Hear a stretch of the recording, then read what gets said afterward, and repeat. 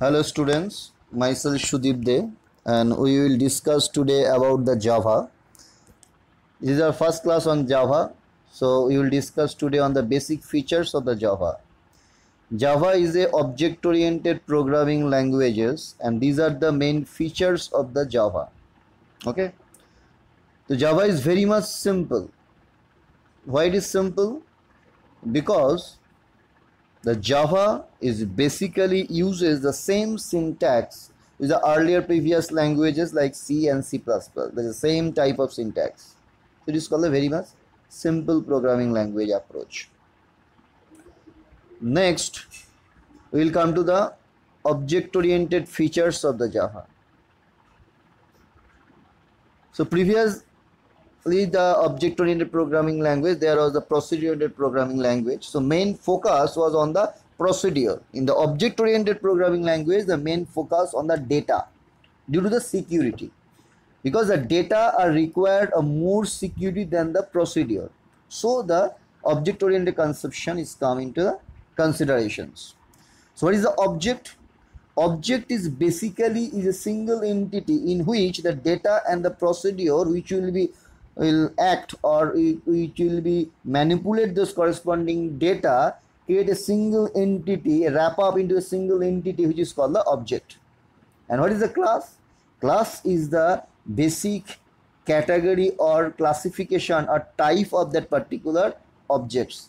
Or reversely the object is the instance of that particular classes. So main purpose is the security. The object the purpose of uh, main thing of the object is the security.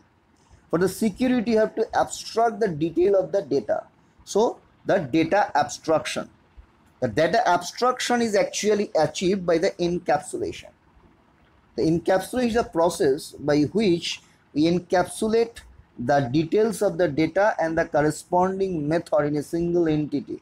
So it is the purpose, the way by which we can achieve the abstraction, that is the data abstraction. Then inheritance. Inheritance is basically a special features which is basically used to reuse the pre-exist object and derive the basic features, inheritable features, basic features to a new object and input or include the specific features additional features to it and create another classes and polymorphism is basically polym and multiple form the same name can be used with the different parameters to create a different type of the work or activity by different methods. So there is two conception in the java which is called the method overloading and method overriding. Method overloading is basically is related with the polymorphism and method overriding is related with our inheritance. These are the basic features of object oriented programming language. We'll detail discuss on that particular topic and how to implement those things in java. We'll discuss on our next classes. Now platform independence. What is the platform independence? Java is basically used the compiler and interpreter. Both are basically the translator. Translator is used to convert a basic uh, source code to corresponding target code for the machine that may be the executable code. It uses both the compiler and interpreter. First is compile the source code. There is any dot .java program to uh, the byte code. This is the class file and that particular class file actually go through the JVM what is JVM JVM is the basic features, is a special thing which is make that particular programming language Java as a platform independent. Within the JVM, all type of interpreter exist to create an environment that Java program can be executed for any operating system. It may be the Mac operating system or Windows or Linux. So the actual purpose of being a Java platform independent which is our JVM. The full form is the Java virtual machine and bytecode is the special thing for our Java programming. Secure. Why Java is more secure? Because pointer conception is used restrictedly. So there is no use of explicit pointer.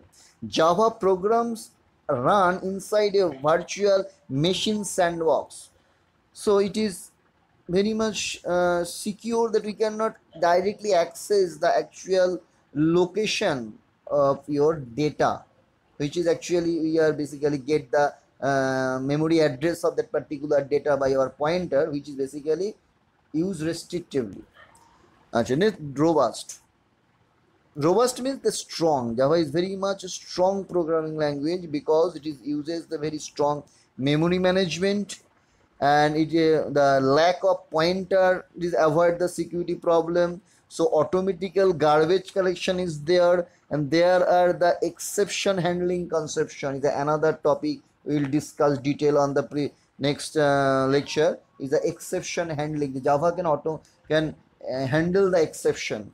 So there is some differences with our error and exception we will discuss detail on the, our next classes. The architecture neutral so first thing was the platform independence. Platform means our operating system and architecture means actually about the, our hardware.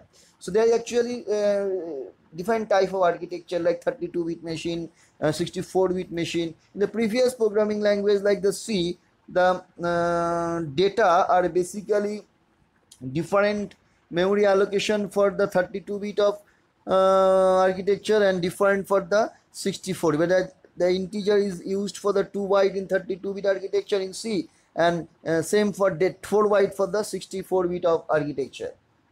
But in the java for both the 32 bit and the 64 bit the integer is declaring for the 4 byte of the data. So it is architecture independent or architecture neutral. Portable. Portable due to this jvm conception java make it portable. So it can be uh, transferred to one machine to another machine without any specific hazard. So it is transferable. Uh, it's called the portable. Then the high performance. Java is very much high performance or um, is faster in respect to performance actually measured by the time or uh, fast how fast it is. Java is very much faster than our traditional programming languages previously using the c and c++ so java is much faster than the previous c and c++ distributed. By using the Java RMI and EJBs which make it more distributed. So uh, next when we are using the web applications by the Java so uh, there are some uh, distributed applications uh, will be discussed in advanced Java. It is actually covered in advanced Java. We are actually discussing about the core Java. So we will discuss in advanced level. Multi-threading. Multi-threading java duty is very advanced and intelligent programming language. So multi-threading is basically associated related with the operating system the process. Threading a process can be break down in different threaded. And a multiple thread which is basically handle or controlled or organized by your operating system previously. So now java can handle or synchronize these things. And there is a specific uh, facility that we can create your own thread and control or synchronize these things or make more intelligently or more efficient programming approach. So it is the multi-threading programming approach is uh, available in our java programming language and dynamic. So java is very much a dynamic approach is support the dynamic loading classes it means the classes are loaded on demand so it's a dynamic so any programming language which is support the object oriented programming is actually dynamic binding. It's called the late binding. Um, previously when we are following the procedure programming language which are the procedure programming language which is the early binding or static binding due to the java is object oriented programming language so it uses the dynamic binding or uh, late binding. So these was our basic features of the java and that's all for today. We'll uh, i hope you like it and thank you